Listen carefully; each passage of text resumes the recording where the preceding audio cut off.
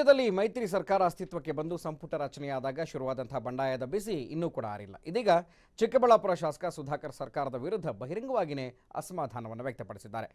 ನಾನು ರಾಜಕೀಯಕ್ಕೋಸ್ಕರ, ಅಧಿಕಾರಕ್ಕೋಸ್ಕರ, ಕುರ್ಚಿಗೋಸ್ಕರ ಬಾಯಿ ಮುಚ್ಚಿ ಕೂರೋದಿಲ್ಲ.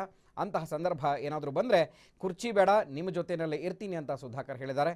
ಚಿಕ್ಕಬಳ್ಳಾಪುರದಲ್ಲಿ ಆಯೋಜಿಸಿದ್ದ ಸನ್ಮಾನ ಕಾರ್ಯಕ್ರಮದಲ್ಲಿ ಮಾತನಾಡಿದ ಅವರು, ಈ ವರ್ಷವೇ ಮೆಡಿಕಲ್ ಕಾಲೇಜು ಕೊಡಬೇಕು. ಹಾಗೆಯೇ ಹೆಚ್ಚನ್ನ ವ್ಯಾಲಿ ನೀರನ್ನು ಮೂರು ಹಂತಗಳಲ್ಲಿ ಶುದ್ಧೀಕರಿಸಿ ಕೊಡಬೇಕು ಅಂತ ಸಿಎಂ ಕುಮಾರಸ್ವಾಮಿಗೆ ಆಗ್ರಹಿಸಿದ್ದಾರೆ.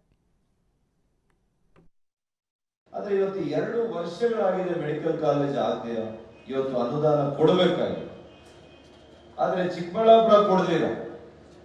ಒಂದು ತಾಲೂಕು ಕೇಂದ್ರಕ್ಕೆ ಹಣವನ್ನು ಕೊಟ್ಟಿರ್ತಕ್ಕಂಥದ್ದು ಸರಿನಾ ಅನ್ನೋದನ್ನ ನಾವು ಕೇಳಬೇಕಾಗ್ತದೆ. ಇದು ಕೇಳದೆ ಇದ್ರೆ ನನ್ನ ಜನರಿಗೆ ನಾನು ಮೋಸ ಮಾಡುತ್ತೆ ಹಾಗಾಗಿ ರಾಜಕೀಯಕ್ಕೋಸ್ಕರ, ಅಧಿಕಾರಕ್ಕೋಸ್ಕರ, ಕುರ್ಚಿಗೋಸ್ಕರ ನಾನು ಬಾಯಿ ಪಕ್ಷಿ ಕೂತ್ಕೊಳ್ಳುವಂತ ವ್ಯಕ್ತಿತ್ವ ಅಲ್ಲ. ಹಾಗಾಗಿ ಅಂತ ಅಧಿಕಾರ ನಾನು ಮಾತಾಡುವಂತಹ ಸ್ವೇಚ್ಛೆಯನ್ನ ಕಳ್ಕೊಳ್ಬೇಕಾದ್ರೆ, ಅಂತ ಕುರ್ಚಿ ಬೇಡ ನಿಮ್ ಜೊತೆ.